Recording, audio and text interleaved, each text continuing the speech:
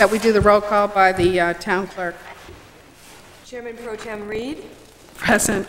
Councilor Berry, Here. Councilor Carson, Here. Councilor Fritz, Councilor McGinty, Here. Councilor Watson. Here. Now, if we'll stand for the Pledge of Allegiance, please. I pledge pledge allegiance allegiance to the flag of the United States of America and to the republic for which it stands, one nation, under God, indivisible, with liberty justice for all. Thank you. I'd like to ask at this time if uh, there are any citizens uh, who would like to discuss any item which is not on the agenda.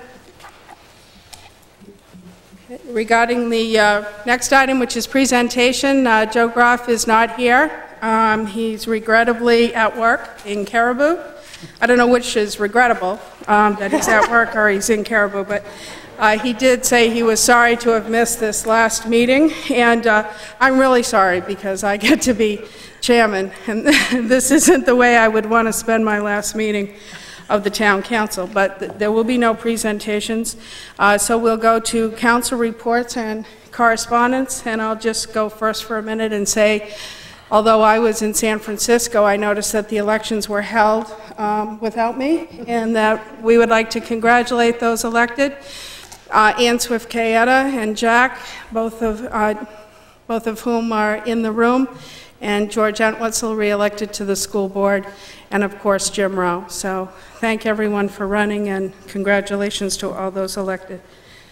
Any other councilors with uh, comments? Councilor Berry? Madam Chairperson, we have a report from the Historic Preservation Study Committee that uh, we're going to ask on the June agenda for a six-month extension of the current deadline, June 30th, to report recommendations to the council. That'll be on the next month's agenda. But we have met uh, five times. We held a public forum here on April 29th, and uh, we are trying to get as much uh, input from the members of the public as we can to have people express their opinions toward historic uh, preservation ordinance. And then we would like to try to work toward developing one, uh, if that be the will of the people. But We are not uh, uh, presenting one, we are trying to, at this point, get information in accordance with the charge from the council to our committee. And uh, then we also are going to request some uh, funding for th- this project, which is in the planning board's budget has not been used. So we'll put that on the June agenda too. And I'd just like to finally announce that our next meetings of the Historic Preservation Study Committee will be June 17th, July 15th, and August 5th. Thank you very much. Any other councilors? Thank you. The town uh, managers report and update? Yes, thank you, Rosemary. I have a a number of items uh, this month. First of all, I wanted to mention that Councilor Henry Berry will be attending this coming Friday evening on behalf of the town council, uh, a 50th anniversary celebration for the Cape Elizabeth Lions Club.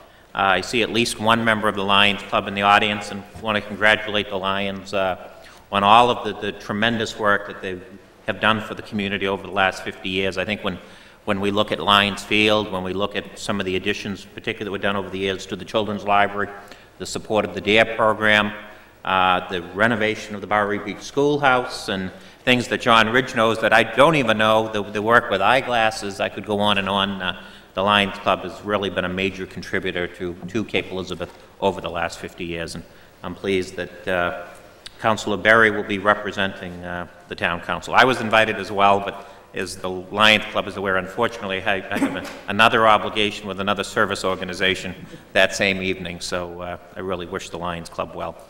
Uh, Speaking of the Lions and Lions Field, uh, also Councilor Berry and I and uh, Chairman Groff attended on May 1st uh, the dedication of the new baseball diamond at Lions Field. Uh, It was it was a really nice ceremony. The, the, it was also the Little League's opening day, so uh, all of the Little League players were there to have their, their photographs taken, and it was, it was really nice to see that project done. And I know if, if Joe Groff was here, uh, I think that was a- an awful lot of the reason why he perhaps ran for the town council, uh, was to try to see that project moving, and I know it was a, a day that he felt very positive about. And I think everyone there really felt good that the community had worked together with so, with so much private support uh, on that project uh, just to see it come to fruition. There were also a lot of candidates there at, at that time, and it was, a, it was a good chance for them to say hello to folks as well. But it was, it was a real nice event and, a, and a, a good point to see. Speaking of projects, the Cape Elizabeth Swimming Pool, Community Pool, Donald Richards Pool, is now well underway. Uh, Sue Weatherby called today something about a rumor that was, she got a call from someone that was behind schedule, and we have no idea where that rumor came from. Uh, it is right on schedule, really moving well. They have not discovered any, any problems. Uh, the change orders, there's been one minimal one involving some asbestos for about $1,000, but uh, that was not a concern. There are some dust issues, particularly as it relates to the high school, that uh, we've been working on and continuing to work with the contractors. But uh, overall, the project seems to be going very, very well, and uh, pleased that uh, it'll be ready for the swim season uh, as planned uh, early this winter. Uh, Riverside Cemetery, if any of you have driven by it, it's also a project that particularly Deborah and Bob Malley have been working on with the contractor Gorham Sand and Gravel. Uh, This past week, uh, it was all seeded uh, with with hydroseed. Uh, There's uh, just a few little minor uh, things to be done in the cemetery.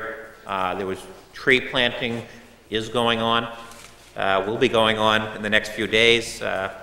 Uh, and it's, for those of you that wish a final resting spot, uh, there are now lots available again, and you can give uh, Debbie a call anytime. But I really want to express appreciation to the Riverside Cemetery trustees for getting the project started, and to Deborah Lane, and to to Bob Malley, and to Gorham Sand and Gravel. Uh, It's it's a it's a really nice project. I know the council, when it came to you over several meetings, you know, it was a bit of a challenge, it was a lot of money, and uh, I think, you know, the, the council really looked out for all of our futures, uh, and definitely the community's future in, uh, in providing that space, and it, it is desperately needed now. We, we need more cemetery lots, so it's a nice addition uh, to the community.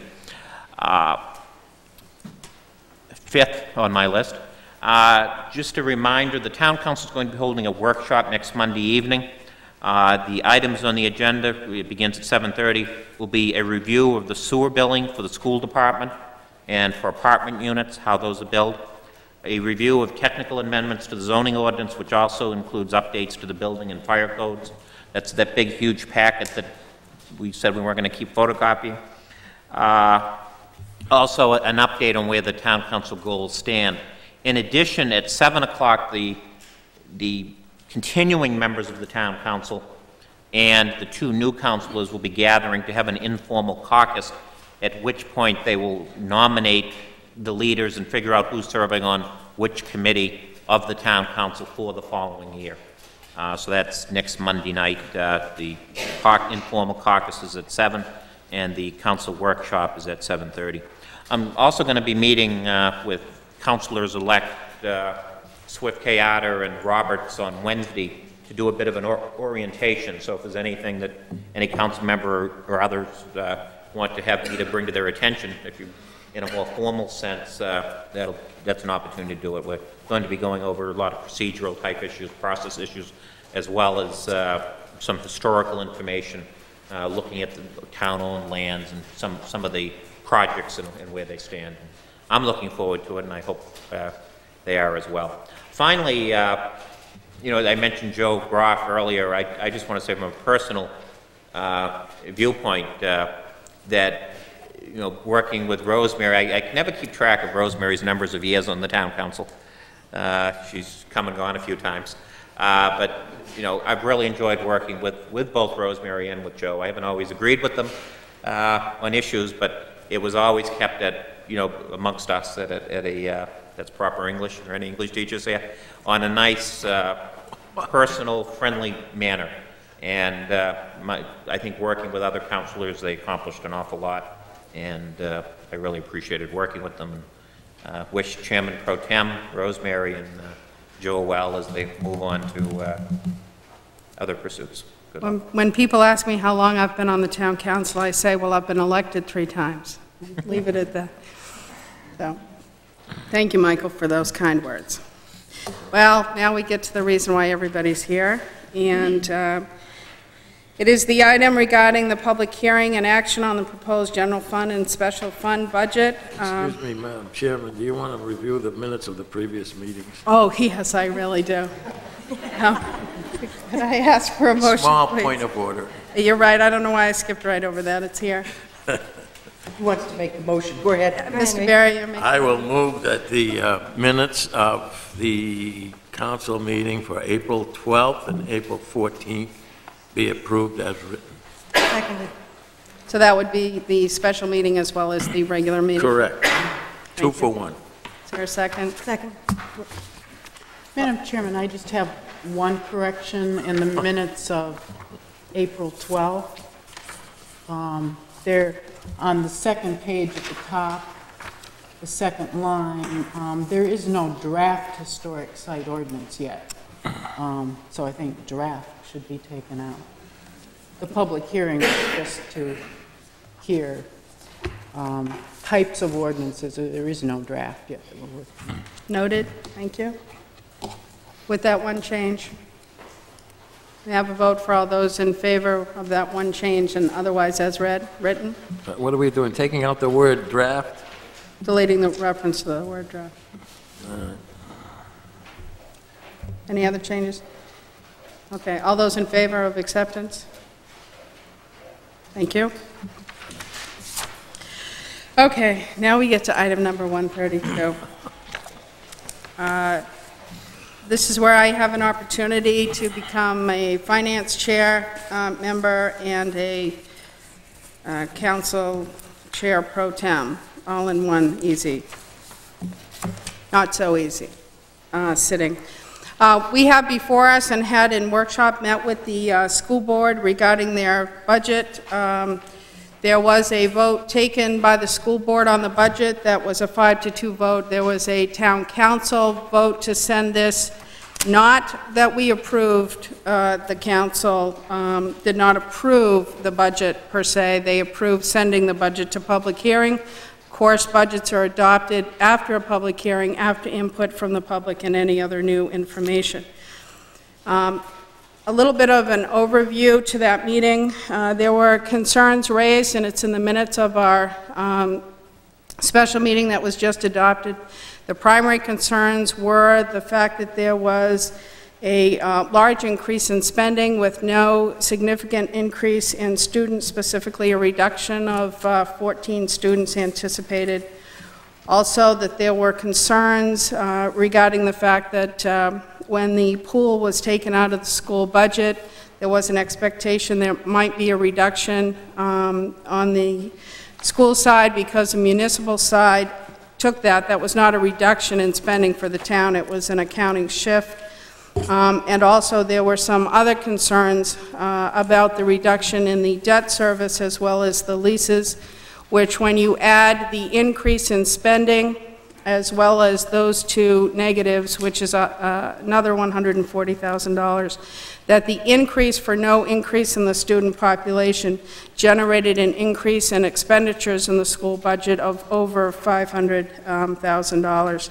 So there were many councilors uh, at that meeting, and those of you in the audience that were there know I was under the weather, and so I wasn't at my best. Um, And also, the meeting was cut uh, a little short because of uh, certain comments that were made, uh, and so we really didn't finish our business, in my opinion, uh, that night, and that brings us to right now.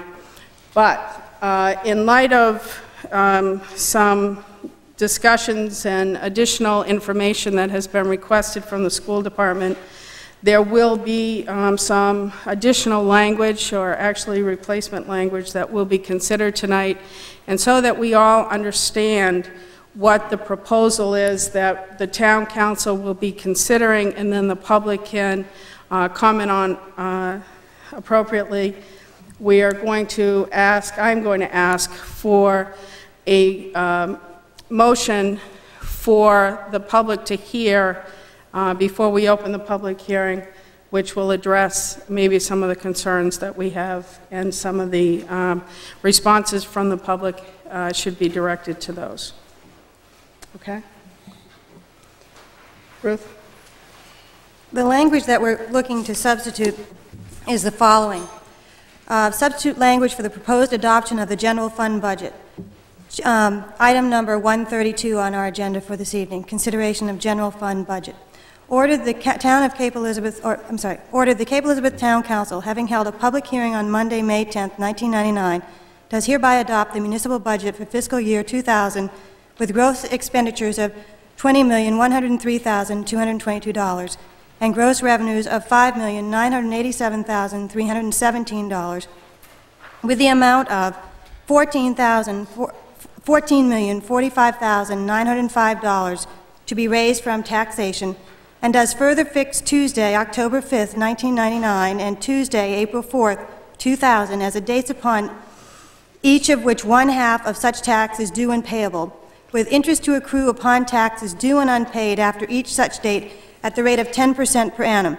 In accordance with 36 MRSA, Section 506, the tax collector and the town treasurer are authorized to accept prepayment of taxes not yet committed or prior to any due date and pay no interest thereon. In accordance with 36 MRSA, Section 506A, a taxpayer who pays an amount in excess of that finally assessed shall be repaid the amount of overpayment plus interest from the date of overpayment at the annual rate of 6% per annum. The net from taxation amount reflects a $70,000 adjustment from the amount that was set for public hearing. The school board is to file with the town clerk by May 27, 1999, an amended budget with changes in revenues and/or expenditures amounting to a net reduction of 70,000. The total amounts in this motion for education revenue and expenditures and for total expenditures and revenues shall be adjusted in accordance with the school board filing and shall be included as the final budget amounts in the minutes of this meeting presented for approval at the June 14, 1999 Town Council meeting. Furthermore, any additional approved state school funding amounts above those amounts included in this budget shall increase the total amount of school revenues and reduce the net amount from local taxation, provided that the town receives notice of said state school funding amount prior to July 1st, 1999. The total budget will be changed subject to school board filing. And if anyone is interested, eh, there's a a memo in the back of the room on the table that outlines in greater detail um, the various line items of the budget and reflecting um, these changes. Also, if anyone wants to turn into our, our webpage, is www.capeelizabeth.com. You can see this memo on your webpage as well. Uh, And those, other than that, um, everything um, remains the same, except for those, those changes I've, I've just indicated. Okay, Is there a second to that? I'll Change second. in language? Okay, and before the councilors give uh, their rationales for all of that, uh, we are going to open two public hearing.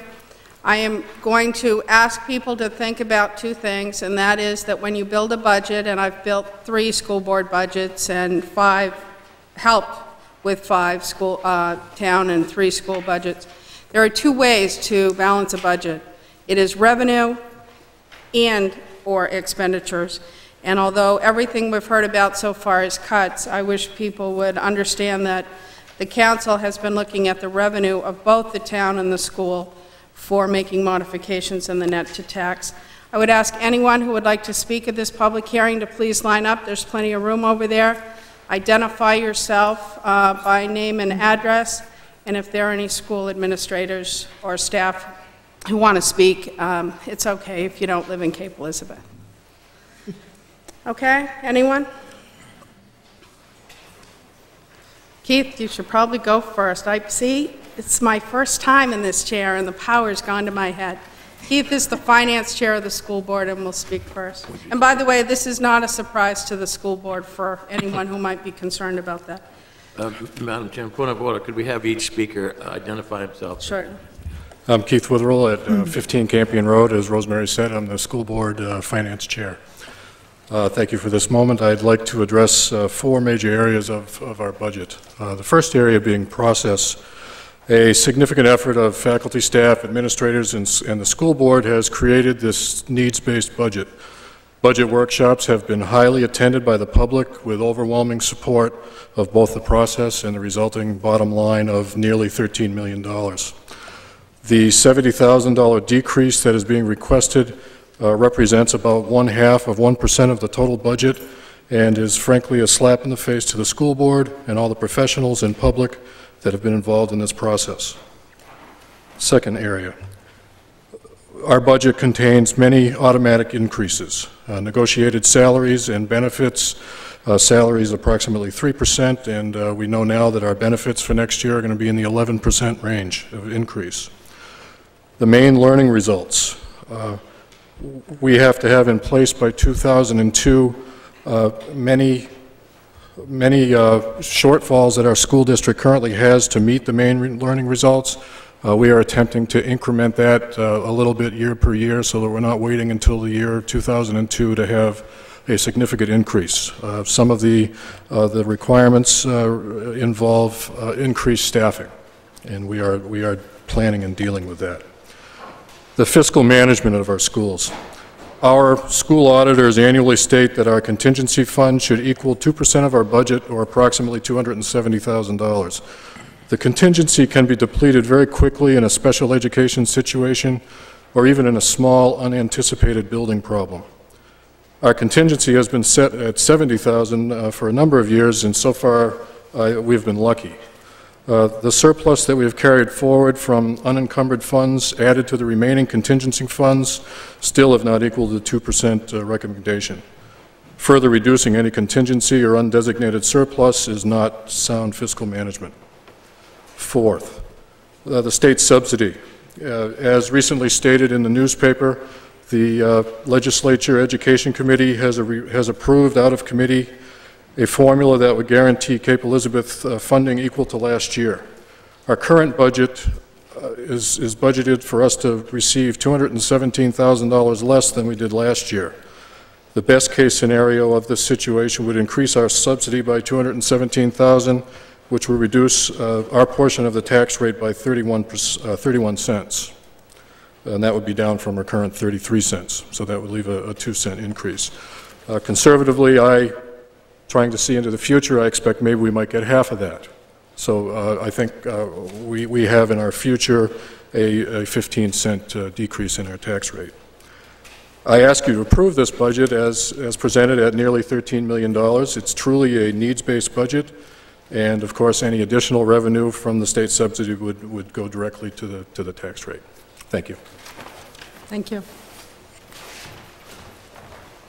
Anyone else? Please, if people didn't mind, if we could get a feel for how many people want to speak, just line up. Hi, my name is Julie Boski, and I live on Park Circle. I'm the parent of a Pond Cove first grader, and I'm also a student in the University of New England's Teacher Certification Program. I'd like to make a few comments in support of the school board's budget that I think are very important to keep in mind. I guess I'd like to think that I'm speaking on behalf of the kids of Cape Elizabeth, since it's very easy to overlook the needs and the interests sometimes of a group that can't speak for itself. First, I do want to note my surprise and sort of confusion a, a bit about this process. Um, I attended all the budget workshop meetings.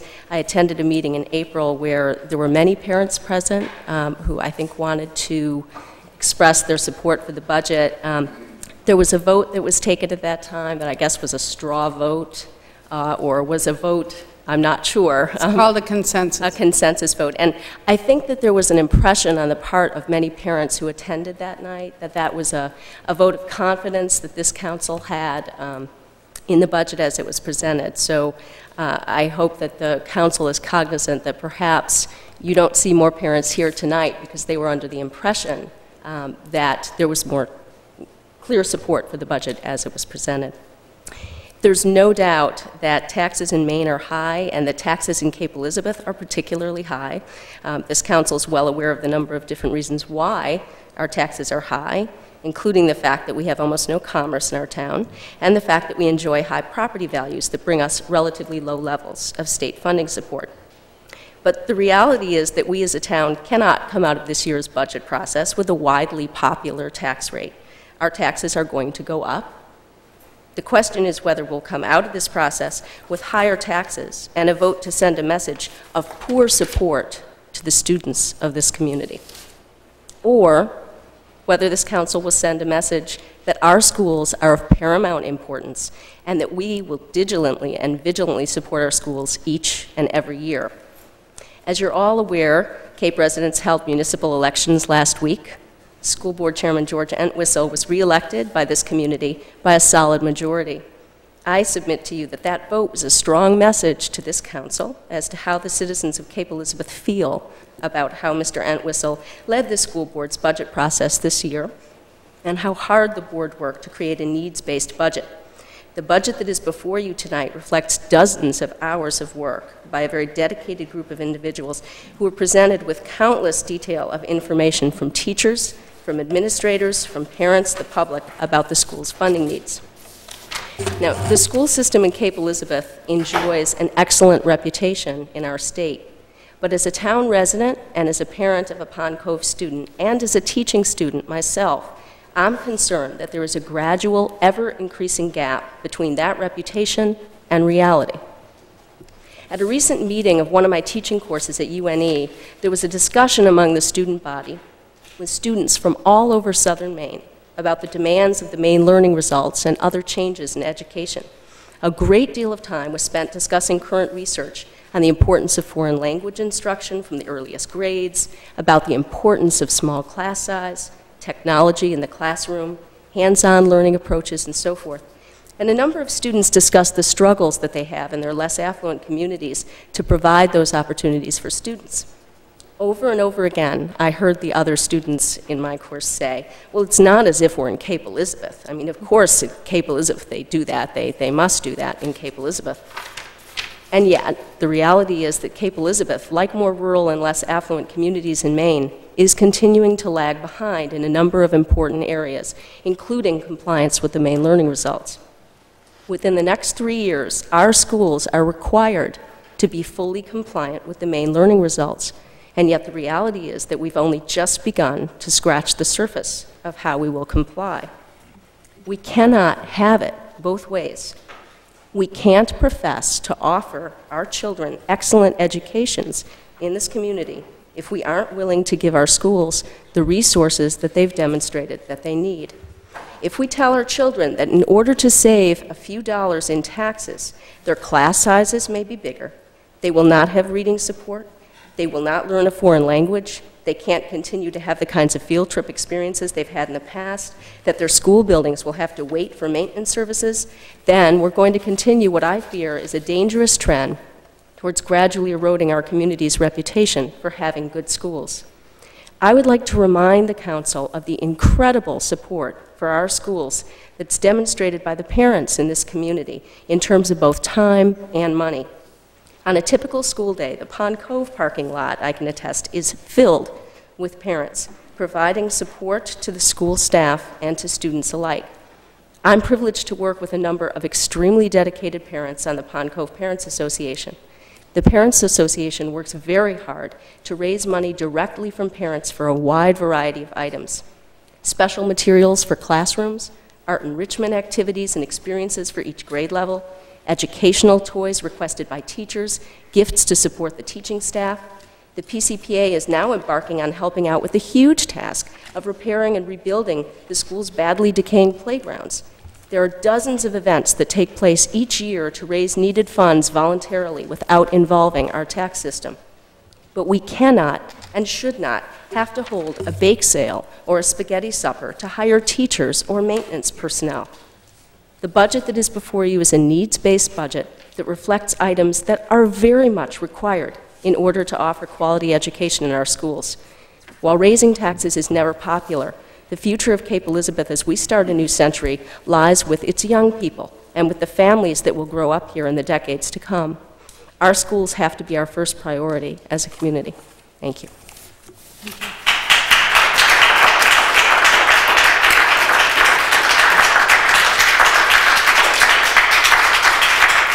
So all those people clapping won't have to speak, is that, could we have a show of hands so, so instead of clapping, we can get an idea of how many support that position? Thank you very much. Okay, are there any other members of the public who'd like to speak?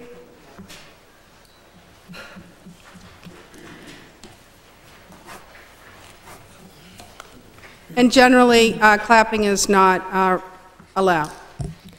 I'm Ann Scriven, and I clapped for that woman because I think she uh, represented the views of many people in the town.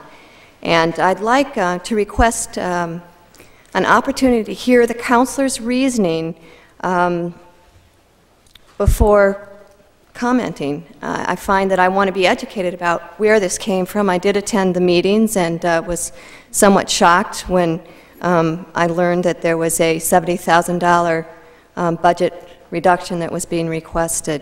So it would be um, helpful to hear what the councilor's reasonings are behind this before asking the public to speak on it, and I would really appreciate that. Thank you. Okay, well, that's what I wanted. So now we can have a discussion. Uh, It is out of order.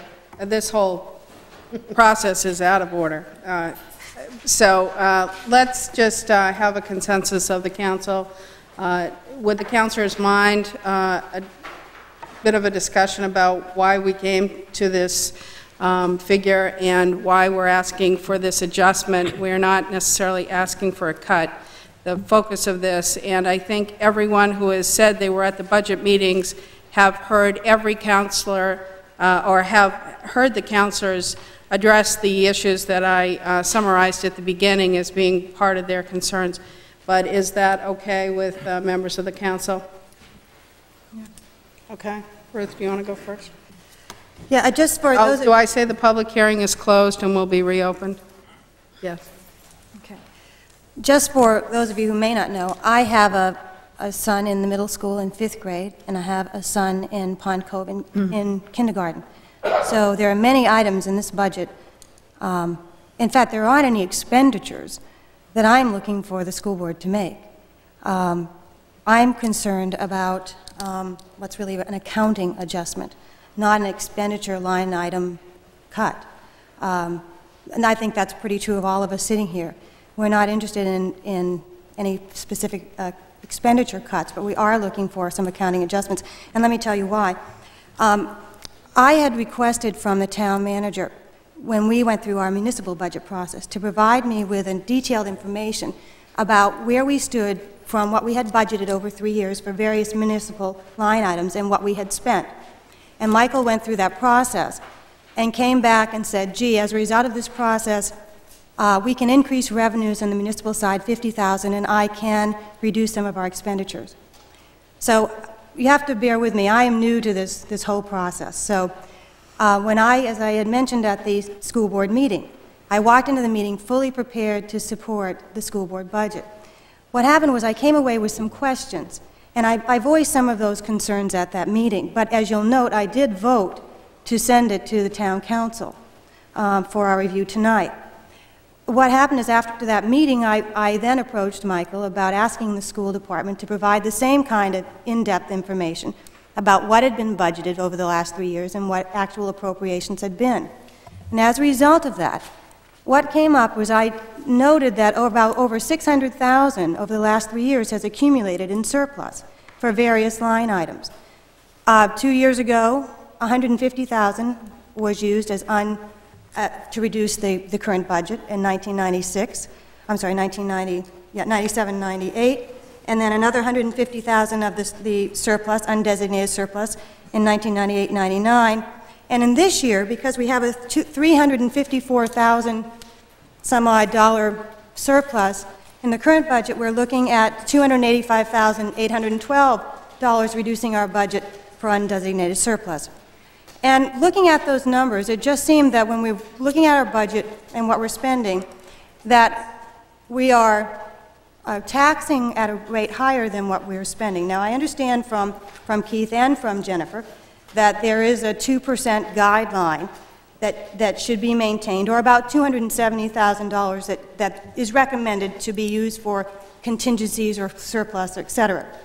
However, if we look at on average, over the last three years, what has been accumulated in surplus, it's about $212,000. And the surplus account is about $70,000 that we're at a run rate of, of each year. So that would give us about $280,000 in a surplus account. Now, what we're looking at is reclaiming that $70,000 from the revenue side or the accounting side, not the expenditure side.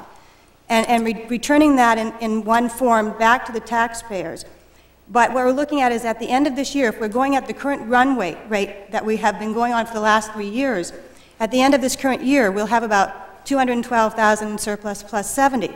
So we'll be well within that 2% that we need to have that the auditors say.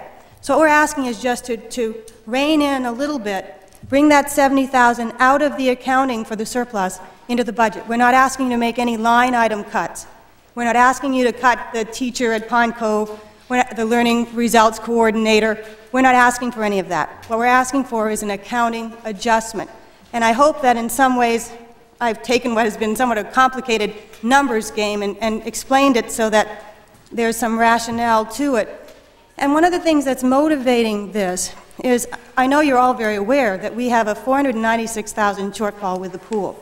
When it came to the municipal side of the budget, we cut $35,000 from the Thomas Memorial Library parking lot because of this $496,000 additional expenditure for the pool. You know, we're looking at a three to three and a half million dollar expenditure for the Gullcrest Public uh, Works building.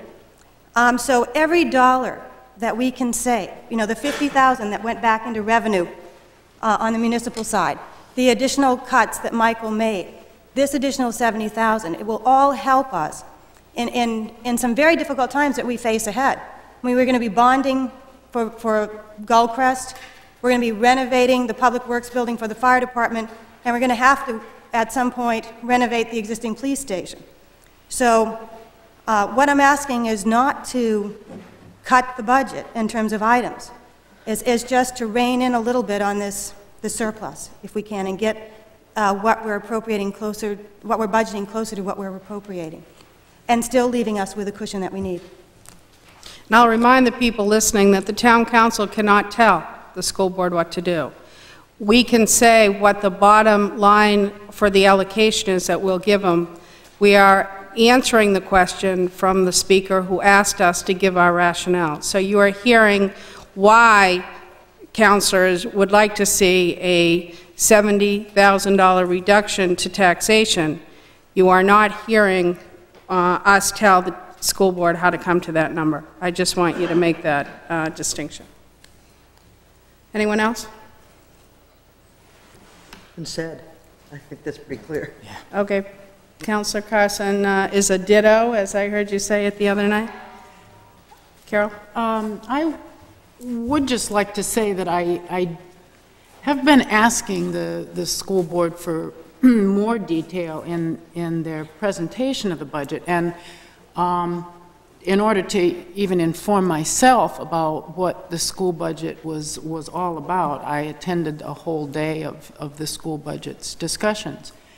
And I, I was very pleased with the discussion that took place because I, I did think that there was, when there were choices to be made, that the choices really came down to the academic side rather than some of the things that would be nice to do. I, so I thought their choices were wise. Um, I was hoping that we could find some extra money uh, because of the expense of the pool and, and reduce some of the capital expenses that were in the budget. But again, as, as our chairwoman has, has mentioned, we cannot tell you where, um, where the cuts need to be made, but I was hoping we could see some cuts there. Um, This, I would rather have had the discussion about $70,000 when we had our workshop meeting. I, I don't like the process that we've gone through here.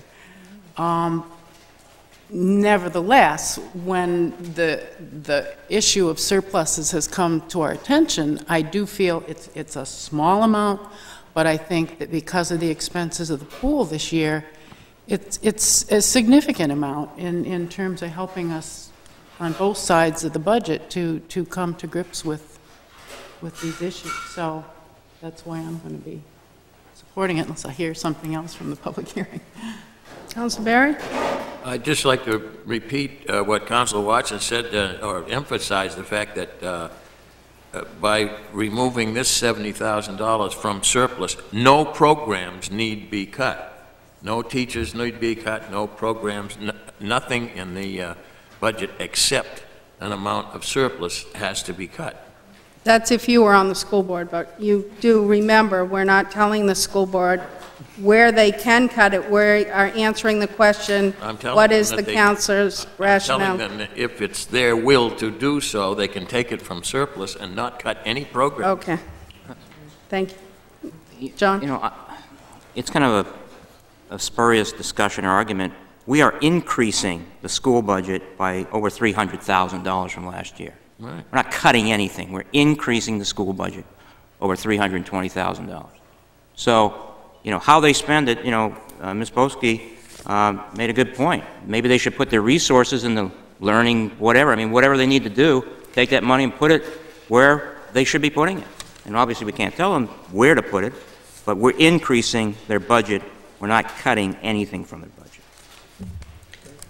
Yes, Councillor I just wanted to speak a little, uh, on this, uh, right now anyway, on the process.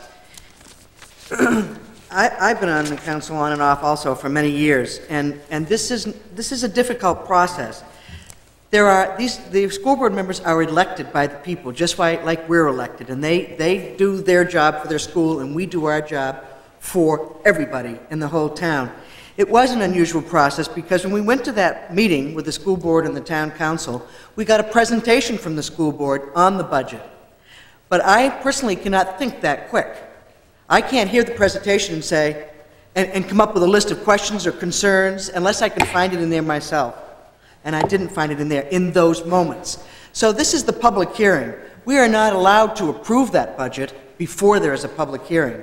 And although we, maybe it would have been nice if we could have grasped onto everything and spoken at that meeting, we didn't have that opportunity because our response afterwards was a response to the presentation.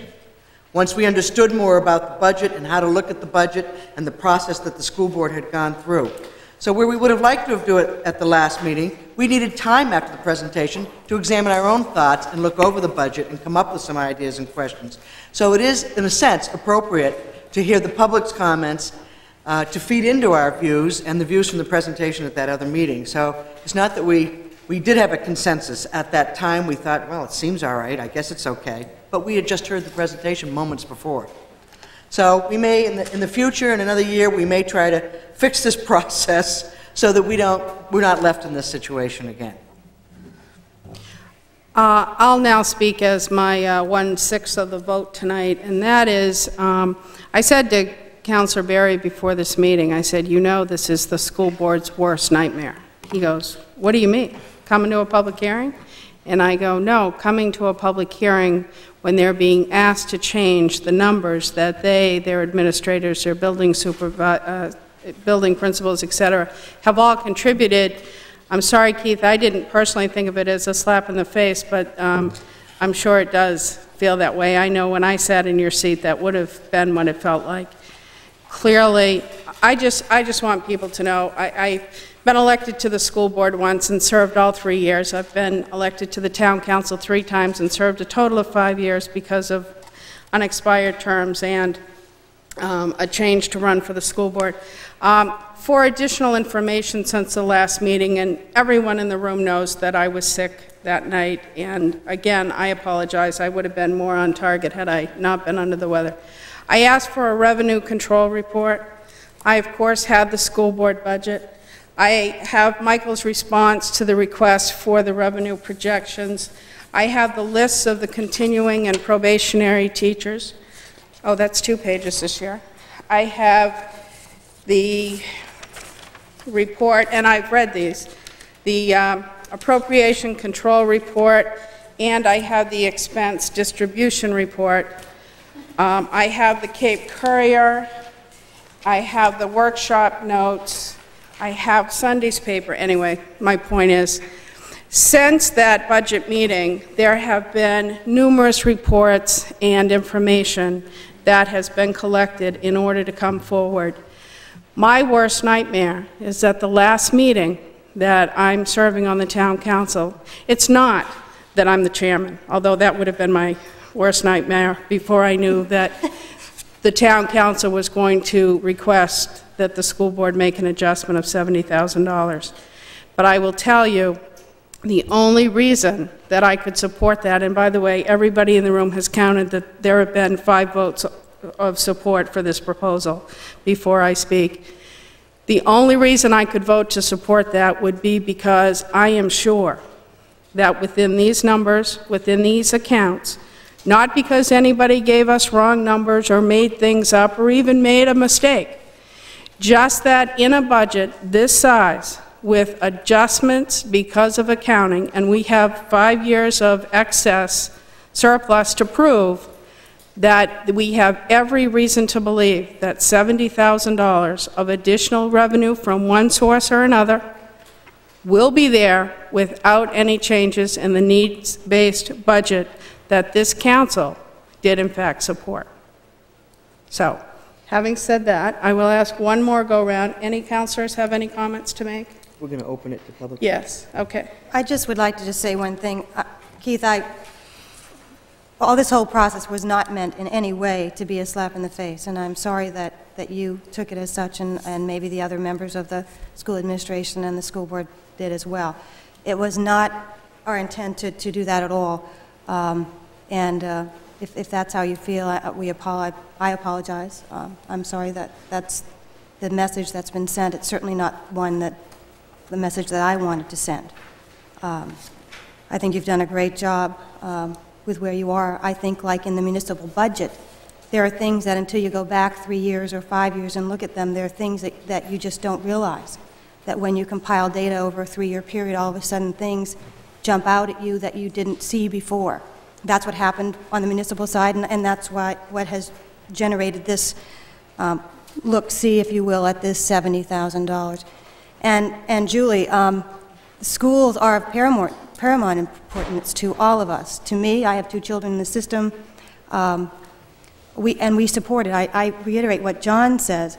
You know, we have looking at $397,000 of support uh, on this budget. Additional. Additional support on this, from last year on this budget, and that doesn't include the 140 that's kind of additional that, that's now gone over on the town side. So that's like 500,000, if you will, of, of money that's available. So um, we are supporting the budget. Uh, we're just looking for some accounting measures and just trying to do our best, uh, knowing that we have some difficult um, budget items ahead of us in the next few years. And the last thing that I'll say before we open the public hearing again is, first of all, we are not trying to balance the pool on the back of the schools. I, I, I don't want anyone to think that. Um, that is going to be paying for itself. The continued reference to the pool is that finally, after many years, uh, Billy Jordan asked for the whole nine years that I'm aware of, that the municipal pool be paid for by the municipal side of the budget and not the school side. The taxpayers are still paying for it. But that amount of money, which I believe uh, is $62,000, was taken away from the expenditure side of the school. So that's what we're talking about when we say the pool was taken away. And the other reference is, is to the leases that expired, as well as the uh, cost of the bonds that began in 1989 with that first roof, Charlie. Those are being reduced gradually every year because they're being paid back. The last issue I'd like to say uh, uh regarding process, and, and I'm going to take responsibility for this too. I made the decision as the finance chair because there were so many councilors that were away on business, that were out of town. The school board had done such a fine job that normally we meet with the school board twice. We met with the school board once. And I think that one of the lessons is we can't afford to do that again because for all practical purposes, this is the second meeting. And this is probably not the appropriate place for many of these discussions to be had. And I know that's going out over the airway, but I made that decision, and uh, it was probably wrong. So, having said that, the uh, councilors will cease, and the public hearing will resume if there are any councilors, administrators, staff who would like to make a comment. Frank, you have to stand over here. Charlie, please come to the podium and identify who you are and where you're from, even though I could say it for you. My name is Charles Greer, and I live at 3 Wentworth Road. If, from what I understand from your brief discussion, you're requesting a 70,000 reduction in, in, to net to taxation. What you're saying is that you feel they have undesign, enough undesignated surplus to request another 70,000 to be used. In order to do that, they still have to have town council approval, I believe. Just a point of clarification. So if, if the school board chooses not to reduce their budget, then they still need to come before you and request additional 70,000 from the undesignated surplus. Correct? My understanding of having been on, having been on. The way the draft motion was established, that uh, uh, Councilor Watson read, and I think, have you already moved it? Yeah, we did. Yeah, moved, moved and seconded by Councilor Berry, is that the school board would, would change their expenditure lines and their revenue lines as they saw fit, and that that would then be filed with the town clerk by the end of the month, because the budget technically needs to be adopted by the end of the month. If the, you know, the, the school board can say no, but they're really not in a position to say no, because, you know, the council does, under our charter, uh, have ultimate budget authority. So, you know, if the council says they're only going to give X amount, uh, that is, that is what is received, X amount. True. My other thing, my other point on process, having been through a couple of early um, town council school board workshops on the budget where there were requests for reductions from the, from the school board, um, they were expressed at that time. And I can remember my first or, first or, first one or two years on the board, that was the process, that was the time when the council made their requests. And, and I would take note of the process and, and how it has failed this year. Thank you.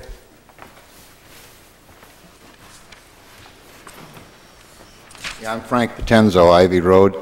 I'd like to ask a couple questions. Uh, Did the school board uh, anticipate that state funding was going to be less this year than last year? Okay. Did they put into their budget the lesser amount that they thought the state was going to give them? Yes, but we corrected that. Okay. So now, if the state is, there's no deduction whatsoever from last year to uh, this year, or this year to last year, uh, then that means that the uh, schools are going to get more than what the- school board thought they were Ju- going to Just so you know, Frank, at the budget workshop, the school board agreed, and uh, we have already raised that issue, and it's been settled, that if there is additional state revenue over and above the amount in their budget for subsidy, then it will automatically reduce the taxes before the tax bills are even generated. That's already been resolved. Okay, fine. It's a good point. All right, so if there's, if there is uh, surplus money uh, that is not uh, going to change uh, any requests from the school board or cut anything, I think that some of that reserve should be used to give the taxpayers a break. That's already been settled. Okay. And then some three weeks ago, in the Sunday paper, in the parade section, there was quite a, a very professional article on just what we're talking about here, and many of you probably read it.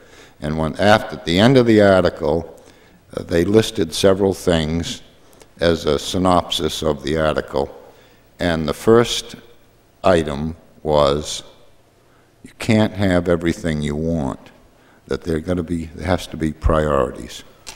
So my only concern is if there's surplus money and it's within the parameters of what we're supposed to have, but there's actually more there, then I think that surplus money should be used to uh, cut the tax rate. Thank you. Thank you.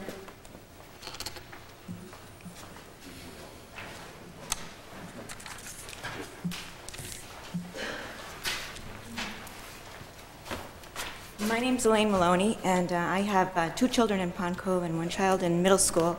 And I too attended all the uh, budget workshops, and um, I think that our school board has done a very excellent job as far as coming up with a very responsible budget. Um, I think that they come to you guys every year with a, a very lean budget. In talking with other members of communities, I hear where their school boards go with 16, 18% increases with the idea that they're going to have to cut and negotiate all the time. But they seem to come to you guys all the time with figures around 3%, with 2% being built in with negotiated contracts, that type of thing. And I just wanted to say that I had a chance to look at Falmouth's school board budget and what they were going to town council. And they are a similar community as far as numbers, uh, being a suburb of Portland and with a larger, you know, commerce type of tax base. But um, they are anticipating about 110 new students in their school system this year. And they went forward with a 16.1% increase, which they then were asked to cut back, and they went back with a 12.5% increase. They eliminated such things as a um, expansion of their superintendent's office. They did not cut anything regarding the quality of the students' education, and uh, they also factored out the uh, modulars and the, the uh, construction that they were going to. And their budget includes an extra $242,000 just to implement learning results, and an extra $563,000 for personnel. And that's for an extra 110 students, and with the same population, student population base. And that's expected to pass. So, just as a point of reference, when you're talking about increasing, uh, that you're giving the school board the extra 300 plus, that uh, we're talking close to 8,000 extra just in Falmouth alone. So, uh, and I also wanted to thank at this time um, Carol Fritz for coming to some of the school board workshops. I also think it's important, um, as much as you get a lot of paperwork to look through, for you to hear the public speak uh, from the very beginning and to educate yourself about the hard decisions that our school board has to make uh, is important. And uh, for that, I thank you. Anyone else? Please, would you line up so we have a feel for how many people want to speak? Thank you. Hello, my name is Trish Brigham. I live at 34 Rockcrest Drive, and I have a first grader and several children coming up into the system. And I guess I just wanted to um, kind of summarize the numbers we keep referring to an increase. And as a follow-up, I guess the number that I think pretty much everyone agrees on in terms of a fixed portion of our, the school budget costs that, that we can't control. They're there, they're in the contracts that you have approved. That's approximately about $290,000 of the increase. That says that we're allocating an additional $100,000 approximately, I'm using approximate numbers, to address technology, which five years ago we didn't have to invest in, to address um, special education, which varies funding, for, to address um, decreasing appropriations to, from the state, to address the Maine learning results. That's really not a lot of money as an increase. It's less than 1% to address all those things that three to five years ago we didn't need to address. Um, everything in the papers we've been reading about, we need to invest in our children to prevent, God forbid, anything horrible from happening in Cape Elizabeth. I think there are people that are very dedicated in our schools. I'm a volunteer myself. I think they work well above and beyond, and I think um, to ask to cut basically the only additional monies we have any authority to give them doesn't send a real um, strong vote of confidence. May I just, uh, we're only talking about, when we're looking at that $510,000 figure, that's only spending. We're not talking about what has been lost for state aid. We're just talking about... the whole budget, though. Right, we're talking about increases in this year's budget alone for additional spending that has not been there, and that's over $500,000. I thought it was about 320, 397,000. That's, that's the net. New spending, new spending, not additional spending. But by the same token, fiscal conservatism, that means that there's been cuts and control in other areas. We have, the municipal side of the budget took over over $60,000 worth of former school expenses from the pool, so we're adding that back. And then the leases and the, on the portable classrooms and the debt service, which uh, actually reduced because that's gone down, is another $72,000. So I just want you to know where, we're not talking about the reduction in the state subsidy as being a figure of $200,000. We're talking about new, brand-new spending this year that was not there last year. even still, though, some of it is fixed. A good portion of it is. Absolutely, absolutely. So even if it's not 200,000. less than 1%, we're still talking probably well under the CPI percentage, is I guess my point. So it's not an exorbitant, I would agree with other comments that I made. I, I think the schools run very lean. Um, They do that, they do a phenomenal job with what they have. So- I, I just wanted you to know where those numbers came from. Thank you. Kathy? Or Jen?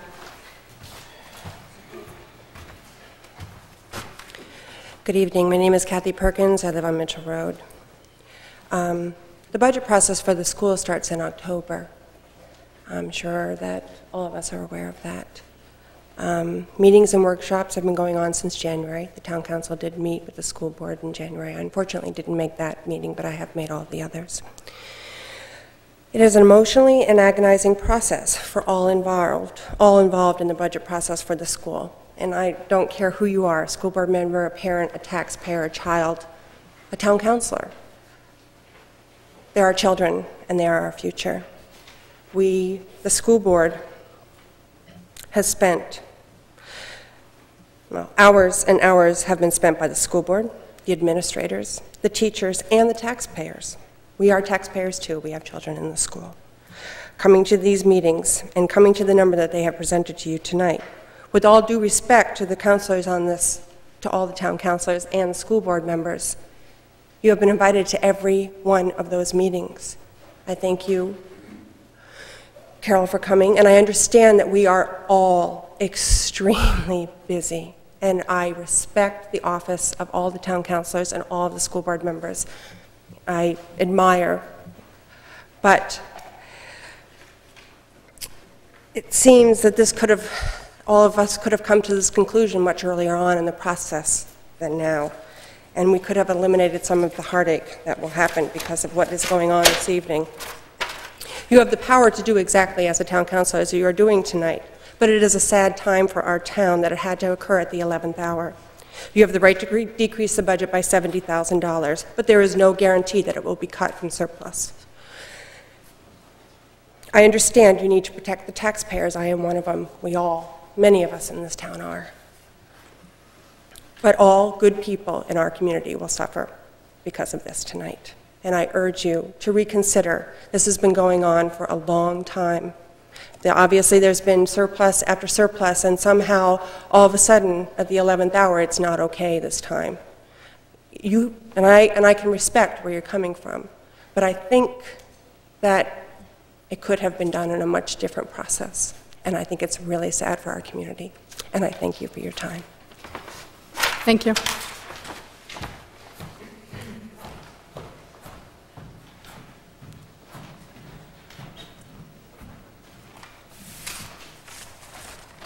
Hi, I'm Jennifer DeSena. Um, And I know you sort of spoke to this earlier, but I would like to clarify that the school board was never formally told of this. We heard scuttlebutt about it. Um, And based on that scuttlebutt, I looked into some of this unspent surplus. Uh, And with the information provided to me, uh, I calculated that our surplus over the past three years has been 2.37%, 1.75%, and 2.91% respectively. So in that one year, we were actually lower than what the auditor would like to see. Um, Given our 1998 undesignated surplus of 354, 354,000 roughly, and after we take out the 285, which we've already reapplied, that leaves us with a contingency fund of 70 grand. That goes nowhere in this day and age. Uh, That could be wiped out in the blink of an eye. One family moving in with a special needs child, one accident, one roof falling in, it could be anything, a bus accident. I mean, you know, the horrors, you can, you can imagine some of them. I expect that if we have to cut the budget and we, and if we do so by reducing the surplus, as you suggest, I think the council will have a really hard time denying us any additional monies if we have to come back here. That, to me, is poor budgeting. Uh, To make, to not have enough in reserve if I were, as a homeowner, if I know I need a new roof, or I know I might need a new roof, even if I don't spend it this year, I know it's going to happen. It's not as if we, we take this money and spend it ridiculously. I mean, if anything, we have a track record of not spending it frivolously. And that's the sort of stuff that ought to be rewarded rather than denied. I mean, if we're talking about minor little 70 grand, that's somebody's car in town. You know? Not mine. I mean, really, it's not an awful lot to fall back on. And, and I think that you would be foolish to leave us with that small amount in the bank. I'd also like to point out that um, you seem to have a discrepancy here in your um, proposal, your original item 132 and your proposed amendment 132, because you have kept the gross expenditures the same and the gross revenues the same, and, uh, but the amount to be raised from taxation is the only item that's different. Yes, Uh, the town manager will explain why. As mentioned in this memorandum, Councilor Reed asked me to prepare it and was ultimately made by Councilor Watson. That's what the whole purpose of the filing is in the, in the large black type on this memo, is that the, the that these amounts would be changed based on whatever decision the school board would make. It Well- would change the expenditure and the revenue. The council c- could not do that this evening, not knowing what the school board might do, so that, that is specifically addressed here. Let me read it. The school board is to file with the town clerk by May 27, 1999, an amended budget with changes in revenue and/or expenditures amounting to a net reduction of 70,000. The total amounts in this motion for education revenue and expenditures and for total revenue, expenditures and revenue shall be adjusted in accordance with the school board filing. See, so even though those numbers don't change above, they would be adjusted in accordance with the school board filing under this memo.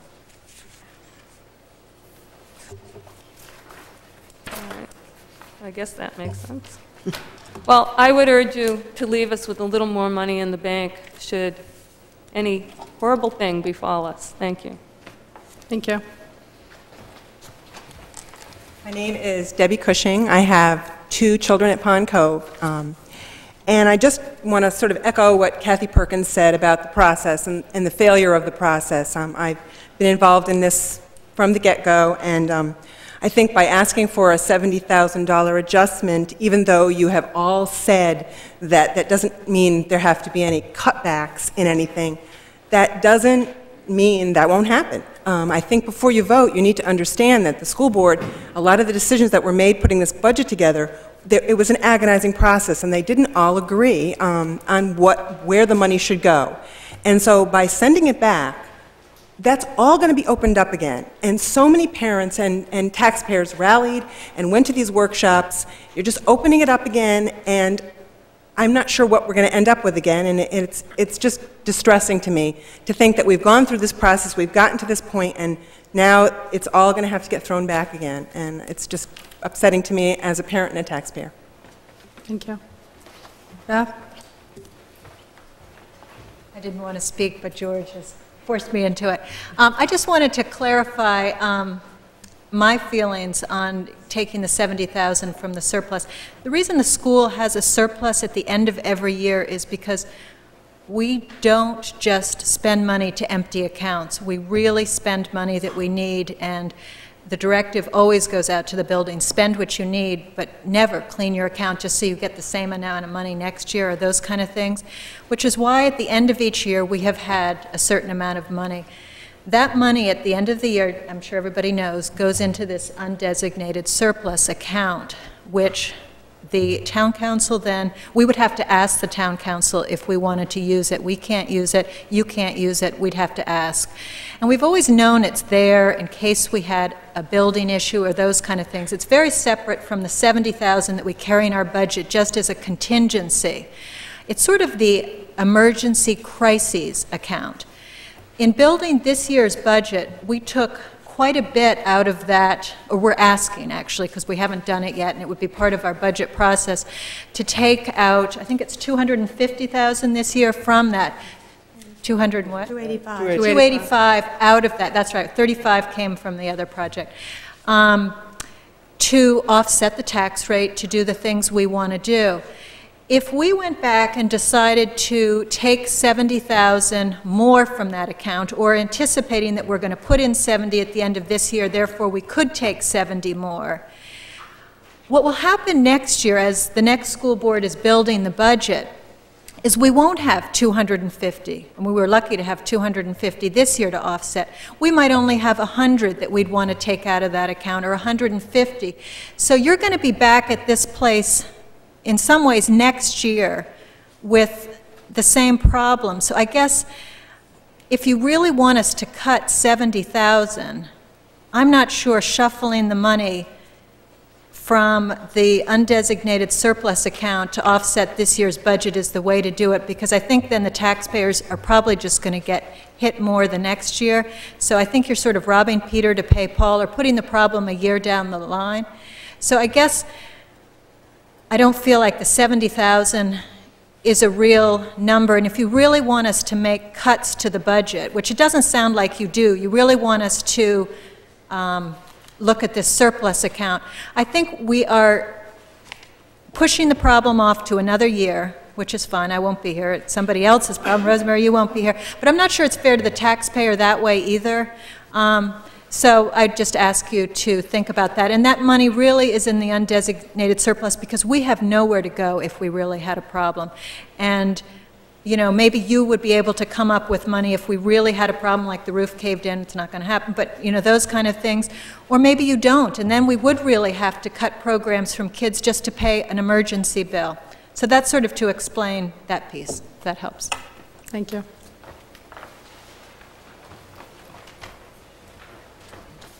I like it from this perspective better.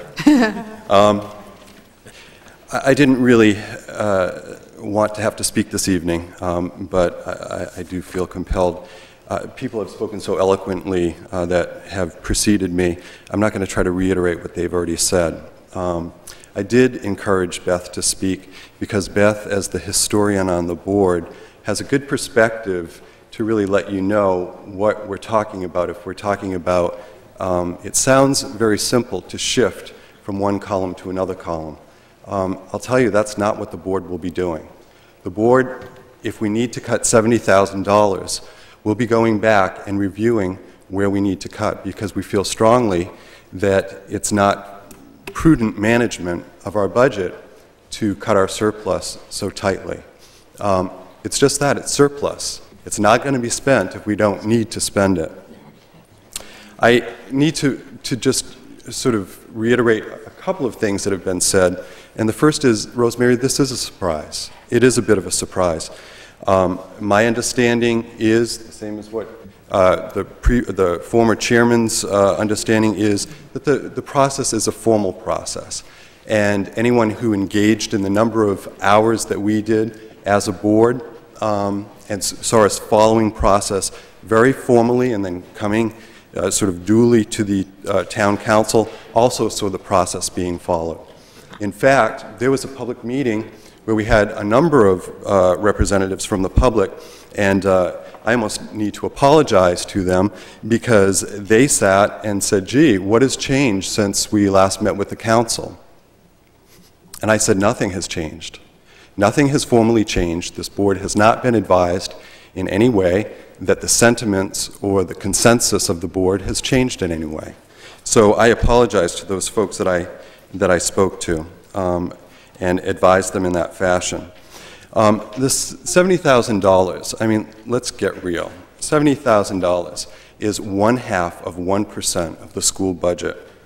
In some ways, and I don't mean to be mean spirited at all, but I think Keith said slap in the face. Um, in some ways, I think talking about the $70,000 is a bit insulting. Uh, not to the, to the board. We'll go back and do whatever we need to do. But it is a bit insulting and perhaps a bit patronizing um, to the public. Um, it's a shifting of a burden from this year to next year. That's all that it is. So let's kind of address it for what we're talking about. Um, Keith has spoken earlier about the potential in the change in the state subsidy. Um, my suggestion is that with fingers crossed, that that subsidy is going to be greater than what we've anticipated. But again, I think the board has been very prudent in what they have done uh, in terms of budgeting, and, and we've learned not to count on anything, not to count our chickens before they hatch. Um, we will do with diligence and uh, with uh, good spirits um, and with public input whatever the board needs to do. We, we, I think that we have proven ourselves as a board who can do that. Uh, we have a diversity on the board of opinion, but we get the job done. And we will get the job done if that's what you tell us to do. But what I'd prefer to do is to cross my fingers and be optimistic and have a surprise that's a good kind of surprise, which is a change in the state subsidy, which will give relief, um, but will also address the, the needs that we have painstakingly presented to you in this, uh, in this budget. So I would urge you to support the budget as it stands and then perhaps reap the benefit of those surprises that may be down the road for us. Thank you. George, I just wanted to make a couple of comments. Um, and that is, first of all, I'm sorry that the school board didn't know. Um, I left for San Francisco on the 20-something of uh, April, and it was my understanding that through staff, the school board was notified of the uh, town council's concern about the $70,000, not counting the contingency fund, we're talking about additional spending, because as you know, our meeting did adjourn quite abruptly um, the week of the, whatever it was, um, in mid-April, and that there were councilors who had expressed uh, sort of open-ended concerns and, you know, the following, uh, the follow-up hadn't been expressed. Several of us did uh, request additional information subsequent to that meeting, and it was my deeply held belief that through the town manager, that, um, that the essence of our concerns was going to be conveyed to the superintendent, not to put the town manager on the spot. So I don't think Again, Rosemary, we're talking about a formal process. I- I agree. And, and in the formal process, things are not exchanged in, you know, parking lots or, or corridors. No, this And- was in And this because of that, and because of my strict adherence to process, perhaps to a fault, um, when I was asked whether or not there had been change in the sentiment of the board, I said that was the opportunity for the public to be there, to hear the, uh, to, to hear the council um, uh, share their thoughts about the, about the budget. Again, as Charlie says, the, the process in the past has always been fairly predictable in terms of knowing where we stand and when we, you know, wh- when we're in trouble or when we're not. And, and uh, uh, despite some, you know, sort of last minute surprises, I suppose, even at that meeting, um, there was a sense that we knew where we stood. And, and was, I think uh, Jen said something about, you know, there was some, uh, you know, rumor and innuendo about this or that, whatever, which is not part of the formal process. I, I, and I've never learned to read that as part of the formal process. Well, just the last anecdotal note. I did get a call from a member of the public who spoke here tonight who called me after I had uh, left and said, "We are uh, going to cut the school budget tonight, Rosemary. Can you give me any feedback on that?" And so I, I do know that there was some notification to somebody, so someone knew. And again, I apologize. There are two things going on. My son recovered from surgery, and I left to go to California. And I, uh, I will take responsibility for the shortcuts. And we, and we have no interest in, in, in finger pointing. I think Well, that no, but I think we hear all sorts of things, don't we, all of us in town? Um, all sorts of things that we learn to tune out because if it's not part of, part of a formal process, then in some ways we can't really regard it as, as anything different than when we left the formal process the last time. That's- And, and I think that that's what the board, um, that, that's what the board's position was. And my formal process will be pa- to pass the baton to I, I town just, manager. you know, anyone watching at home might wonder what's going on. I think we're, we're into semantics. I, I want to explain exactly what occurred in, with unvarnished. Uh, I received a number of phone calls after the last council meeting uh, that they had with the school board that there was some discomfort with what had occurred at that meeting, some of the comments that were made, as well as, and I think we all know about that, as well as uh, with the end conclusion of the meeting. Uh, Rosemary, in her capacity as finance chairman, asked me to convey to the superintendent the message that it was her sense that there was perhaps support within the council for a $70,000 adjustment. Uh, It was indicated there had been no meeting of the council, that it was her sense, and it was presented at that. I approached the superintendent. The superintendent had a, happened to have had a workshop with the school board scheduled. She communicated that to the school board, that Rosemary had indicated to me that it was her sense that, that there was probably support for a $70,000 cut, however, that there'd been no council meeting, and that Rosemary herself was probably prepared to offer that. So while in a formal sense there had been no vote, you know, I think we're dealing with semantics to say that, that the school board didn't know about it. That, uh, you know, Rosemary asked me to do something, and, you know, I have difficulty listening to the implication that the message wasn't passed along because, uh, I don't- I don't- you know, I, it, it was done at a public workshop that was presented to the school board. Michael, I'm- I don't think anyone's saying that they weren't aware that there were some things flying about, you know, some, some discussion that was happening about the budget. The fact of the matter is that, um, again, just looking at the process, when we ended the formal process, um, the board and the public left, and, um, and we picked it up this evening. And, and so my response to the public was, there is no formal communication to this board unless it was meant to be formal, and I don't think it was. Um, There was no formal communication to this board that, in fact, there's any change in the sentiment and that there's any change in the support that was voi- voiced for that budget um, the evening uh, that we all met. So, uh, again, uh, the, we've talked a lot about process. I, I, again, I am a process guy, perhaps to a fault, um, but it, it- this is my opportunity to apologize to people for the misunderstanding that I had, and perhaps I should have been um, uh, more sensitive to sort of the informal part uh, that, um, that I didn't really pick up as a cue, I suppose. Thank you.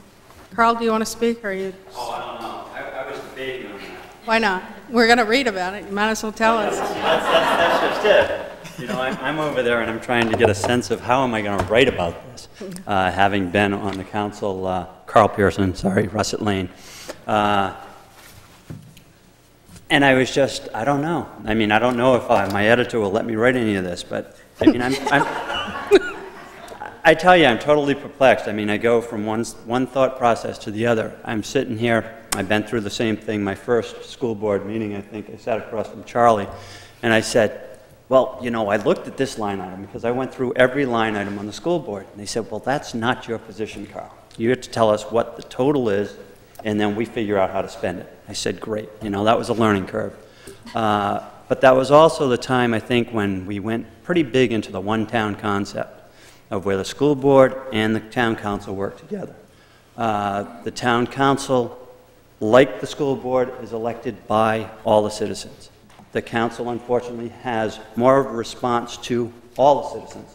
The school board, and as uh, Ms. Bosky said, yes, it's, you know, that's, that's your pinpoint. The school is your focus. I mean, I have kids in the school system. And then I think the comment was just made, I don't know what Jen said, something about $70,000 the price of a car. Did I hear that? Not mine. Not mine either. Oh, not mine. but, you know, I also, you know, it belong to a church, and the- the budget there is faith-based, okay? We, we give our budget, and if there's a shortfall, it'll be made up. And $70,000, what is it, 3%? If I went out and I did a bid on a, on a project of $1,000 and I'm off 3%, what's that, 30 bucks? Oh my. I'm willing to write a $140 check. $70 for each one of my children is how many kids are in the school? 1,000? If there's a shortfall, I don't, I don't understand this. It, it, I'll probably end up babbling, and I, I won't hit the eloquence that George mentioned. Um, maybe I can write it better when I, when I report on it, and I don't have to quote myself. I. But I think it's time to move on. I mean, you apologize for the process. We used to have the two workshops. The apologies made, stop beating a dead horse, move on. If there's a shortfall, let's have more faith in the rural character that everyone runs on that platform here in Cape Elizabeth, and just get it done together and move on and be done with it. Thank you. Well, I think we're moving on. There's no one left to speak. I will ask, is, is there anyone else that'd like to say anything?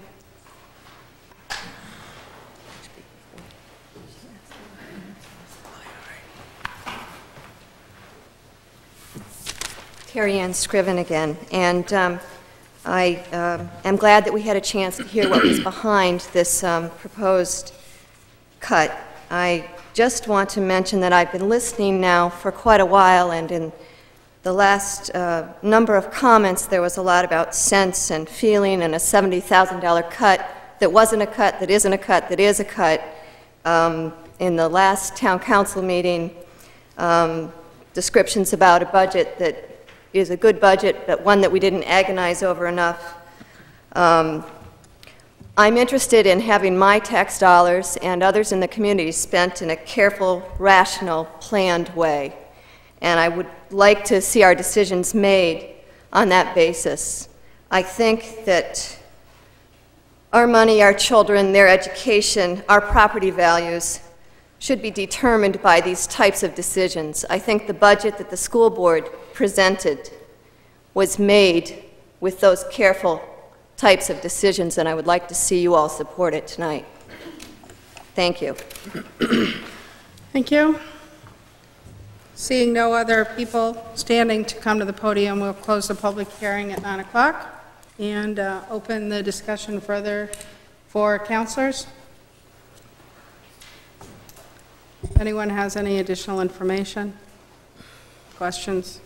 I'm gonna- Comments? I think you can't leave a public hearing with no comments. I think we're all trying to think through what we've heard and put our, put our thoughts in order.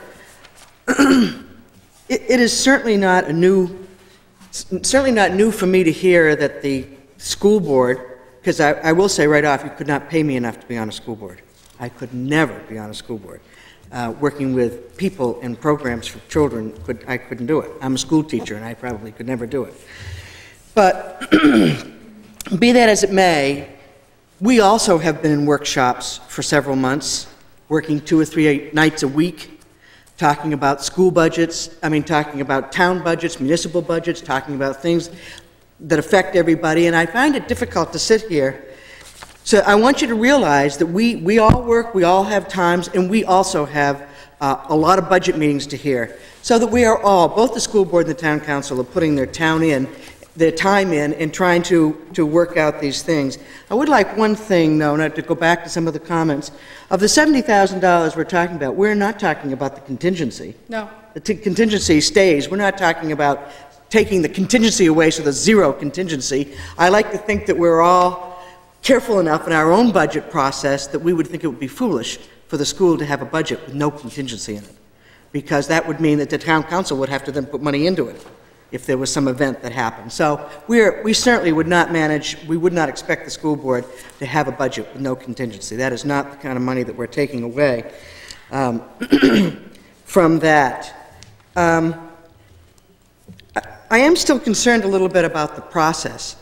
Had we had a consensus at the meeting that we had together that we did not agree with the school board's budget, we would be at this meeting listening to the public as they tried to persuade us to agree with you. And we are listening to the public now to try to persuade us to their point of view. There may have been a meeting missed, but you can't expect, well, maybe you can expect, but as I say, had we gone the other way and said, no, there's no consensus and we don't agree with your budget, you would be here at the same night and you would all be up there speaking, trying to get us to agree with the budget. So there is time for them. The process may have been a little bit different, but there is an opportunity. We cannot approve anything before the public hearing, and this is the public hearing. So, and when I came in here tonight, I said, geez, I really feel badly that we didn't get this done at the other meeting. But now I don't feel, I feel like we're not that far off in the process. This is the public hearing. This is your opportunity to make your case to us. And it's our opportunity to make our case to you before the vote. So I, I don't feel that the process is uh, that, that far off. But I want you to know that we respect the school board. I know the members of the school board. I vote for the members of the school board. I know how hard their job is. But when we looked after the presentation and questions began to occur to us, and it was, the meeting was cut short. There was a sort of stunned silence, and the meeting was cut short for a variety, or maybe one event. And um, so that we did not get a chance to ask, where we did ask, I asked a question about the number of people who were coming on board. I think it was 12 new staff members, and, I, and, and We just, we were all in stunned silence, and we didn't get a chance to, to ask all the questions that we wanted. But the information came to us. I think it's prudent for us to say, wait a minute, we, we need some more information here. I'm not comfortable with this. That would be prudent for you to do if you were questioning us on the municipal budget, although hardly anybody ever does. And uh, that would be a prudent thing to do. It is prudent for us to ask for a response and for you to try and persuade us to the point of view. I still feel that if my child said to me, I need $10 a week for allowance, I'd say, okay. And after three years, he told me, I still need $10 a week, and I was still giving it to him. He says, Guess what? I'm going to Boston because I've been saving a lot of money. I- I'd be really upset that he had asked me for $10 every year, even though it only cost him $5 for allowance. So I, I feel a little bothered that there's this large surplus in that surplus account. And I think that's kind of what led me to, I have never voted, uh, maybe one time, we've asked the school board, my, this is my 11th year, or ninth, 10th year on a town council, ever asked the school board to do anything like this that I remember. But I really feel strongly about this account item. And I really feel that, that what, what was the raise in the school budget? Two point, what was the effect on the tax dollar? The effect, you know, whatever it was, it's like 2.7 or something like that. In actuality, it's not 2.7, it's 4 point something. We have those actual numbers. Yeah, so that it, it just, it, I I just felt that I, my consciousness in protecting you as taxpayers and all the taxpayers, I really still feel strongly about this, this amount of money. And this is not an easy thing for me or any of us to say. Because everybody says, oh my God, you're going to cut a kindergarten teacher, the classes are going to go to 25. The classes don't have to do that. That's not our decision. If you feel strongly about class size, you should speak to your school board, and that is an area that they should not try to find this money in. So, I guess that's where I am right now. I still feel uh, that this is a very difficult decision for all of us, and I think you should give us some fair credit that we are all struggling with this. Although we may not agree with all of you, we are all struggling with our decisions. The conservative side of the table? John? Well, we've heard, a lot- we've heard a lot about process, but I have a clear conscience in this regarding this whole issue. Um, If nothing else, you know, at least I voted my feelings on this at that, uh, that hearing. So, um, again, I have a clear conscience on the process issue. Carol or Henry, any, any other comments? Sid. All set? Well, I, I do think pretty much everything has been said. I will tell you that there are- is more than one philosophy on budget building, and I hope that the school board understands um, that for at least this councilor's vote, it will be about a philosophical difference between the way the budget is built and the additional money that has already been raised from taxation that I personally feel this year, uh, we cannot afford to ask people to raise that money again on the notion that that money may be needed because there are just too many other contingencies that are already built into the municipal budget and the school budget. And I am just uh, at the point where uh, if this vote tonight will, um, may not come away to the people who have kids in the school the way the councilors intended it, but it is my deeply held belief that accounting adjustments are made in the revenue side of the budget.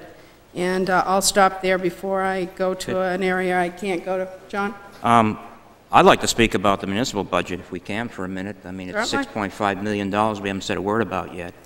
Um, You know, I'm, I'm going to support this motion and the municipal budget, and I'd like to say that the municipal budget does not uh, increase tax, taxes for any of the services per se.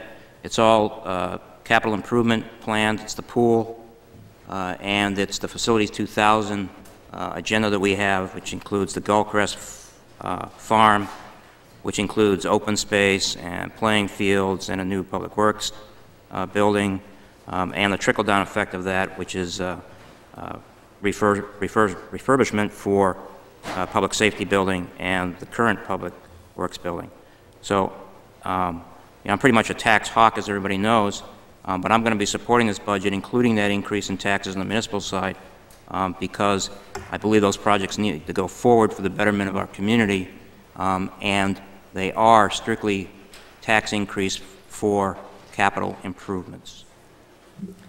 Thank you. I Counselor suggest that we uh, move the motion. Uh, Would the town clerk please read the roll? Councilor Berry? Yes. Councilor Carson? Yes. Councilor Fritz? Yes. Councilor McGinty? Yes. Councilor Watson? Yes. Chairman Pro Tem Reed? Yes. Motion carries, seven yeas. Thank you. Six. Six. Six. Oh, by the way, uh, the uh, chairman of the town council would like you to know he would have voted no, and that he required or requested me, I can't remember, urged, required, well, I don't know, me to uh, notify you of that. And he is sorry he cannot be here tonight. Madam Chair? Yes, John?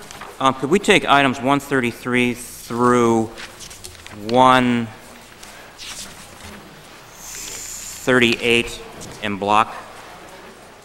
I'd I'd make that as a motion, we take those in block, unless somebody would like to pull one out for any particular reason. Want someone to read that? Do we have a second? Second. I'll second. All those in favor? Okay, 133 to what? okay. 138? So you would like to vote upon those as written? Um, Yes, and I, I- if I could make a motion that we approve these, and that's the sewer fund budget, the Riverside Cemetery fund budget, Portland Head Light fund budget, Spurwink Church fund budget, Fort Williams Park capital budget, and the Thomas Jordan Trust budget. Second. Okay, All those in favor? Okay, moving on to item number 139, consideration of a report from the Appointments Committee.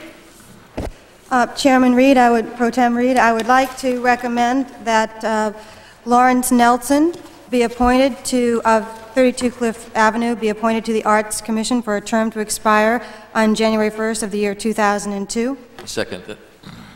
Okay, And that is a balance of an unexpired term.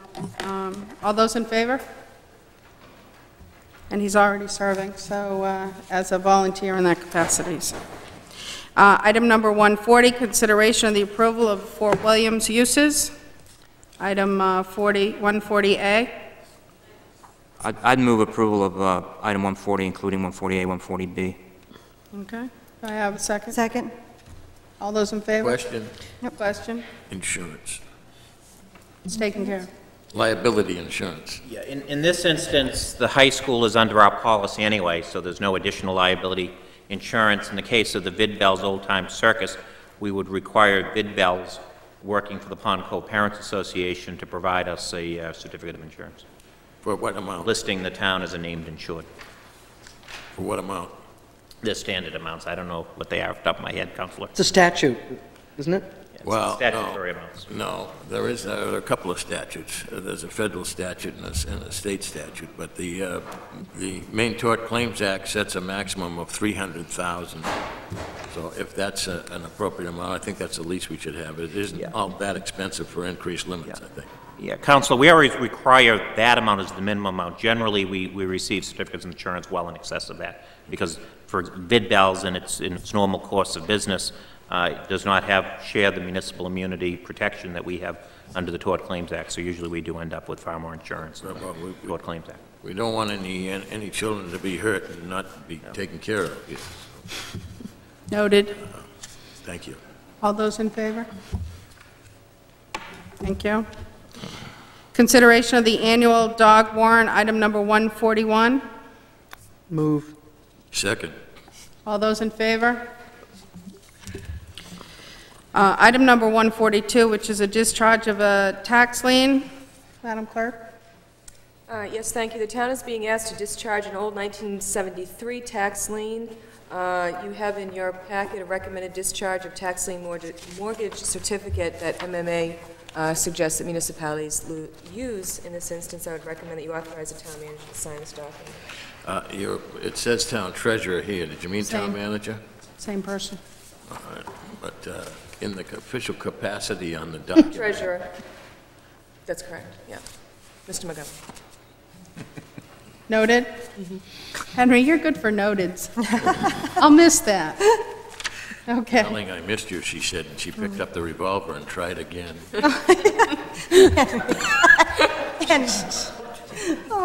Okay, the entertainment's over. Carol, did you have a question? I was just wondering if there could be a little more explanation of this so I could understand it better. Once in a while, if there's a title search on a property or what have you, they come um, forward to the town asking for discharge of an old uh, tax or sewer lien. Perhaps it was not released for some reason 20-some years ago. Once in a while, the council receives a couple every year for that. So, We- We checked the records to be sure that the tax was in fact paid, so this is, this is, no money was owed. You know, if it, if it hadn't been paid, it would have been continued on, uh, and the lien would have foreclosed at the time. So it was paid, the- the town administratively just never filed the uh, discharge. Okay, all those in favor? I'm sorry. Did we have a motion? I move discharge of the tax lien. I'll second it. Now may we have a vote? Thank you. Okay, and uh, item number uh, 110, which was tabled um, on March 10th and again on April 12th for the Town Center Zone Amendment request. Mr. Manager? Yeah, I had received a a phone call from John Gendron uh, since the last council meeting requesting this to be tabled, saying that he had had a, uh, some i- issues with the developers, and uh, he was withdrawing uh, his proposal. I I did write a letter to Stuart Carew, who, according to Saturday's paper, is the principal uh, for this property at this point, uh, just confirming that, in fact, they wanted it withdrawn. I never heard back from him, but uh, I did leave a, a message for him. Uh, again, in you know this Saturday's paper, that was I was reading that in the Portsmouth traffic circle while I was waiting for someone the other day at a parking lot there, not in the circle, and uh, it was an interesting article, and uh, everyone should read it. I move that we remove this from the table. Second. Second. All those in favor? I move that we table this indefinitely. I second that. All those in favor? Moved, seconded, tabled, untabled, and tabled indefinitely. Okay. Are there any citizens who would like to discuss any item not on the agenda? I, I did want to discuss one Okay. Uh, Just that, just updating, we had another contract to sell that lot in Elizabeth Farms that fell through again. Oh, Uh, So, you know, it's, I'm go- going to be working uh, with Susan Shea, the broker. I may come to the council for an alternate proposal. Uh, What was found this, this time is, you know, for people to build in that neighborhood on, you know, an expensive lot, there's a certain market and they want a certain type of house. And they had figured for the type, this most recent buyer, for the, the type of house they wanted to buy, they would have had to bring in umpteen yards of fill, way, you know, I won't mention exact number of yards, but it was a lot. And they asked, actually, would the town be willing to provide the trucking and whatever? And I said, no, we can't mix apples and oranges and, you know, for what it has to be private work. But anyway, we're, we're having difficulty selling the lot. Uh, You know, it, it's no secret, and we've said publicly and privately, it- it's not a wet lot, so, you know, there may be some, I, you know, publicly, I, I gotta be careful what I say, but, you know, I'm gonna try to work with the potential buyer this time and with the broker to see if maybe we can so, so come to some sort of agreement. And, you know, and if we do that even between now and next week, uh, when you have your workshop, what I might ask is for a special council meeting to go into executive session to talk about uh, what authority, if any, I have on the lot. So if anyone wants a lot in Elizabeth Farms, it's actually a very nice lot. It, it is on the wet side, uh, is, is pretty evident, but uh, it's still a, a good building lot. And uh, uh, it was on the market for $90,000, and uh, that was what the original contract was for. Thank you. Madam- Madam Chair? Yes, John? Can I make a comment? Sure. Um, I'd like to thank Rosemary Reed for her service on the town council. Thank you. Um, I think that she's brought a great institutional knowledge to the council. She's been particularly helpful to me regarding financial issues, as demonstrated tonight in the, in the budget hearing. Um, And I've gone to her more than, uh, more than probably my share to ask, um, regard, asking her for help regarding uh, particularly financial issues. Um, I also, in the absence of Joe, would like to thank him. Certainly, we haven't seen eye to eye all the time, and not often, but um, I certainly, But I cer, he certainly brought a, a, a dimension, dimension to the, the council, and certainly his service to the town is appreciated by me, um, as well as the whole town. Thank you. Thank you. Okay, I would like to join in those remarks. thank you. And I'm sure Joe will be watching this tape to make sure I said that, uh, what he asked me to say, so. Okay, anyone else in the audience want to say anything? Then I would say we're adjourned. All those in favor? Thank you very much. Please, kill the mic. We always do. Good